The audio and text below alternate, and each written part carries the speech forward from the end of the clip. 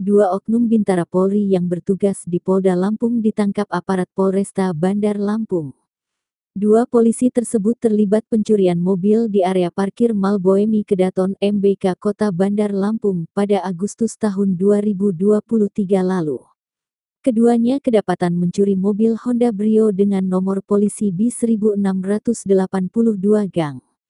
Untuk mengecoh pihak kepolisian, para pelaku mengganti plat nomor kendaraan menjadi B1714ZH.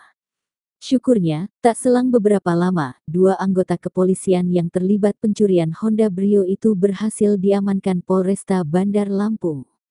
Kepala Bidang Hubungan Masyarakat Polda Lampung, Kombes Pol Umi Fadilah Astutik, membenarkan informasi ini.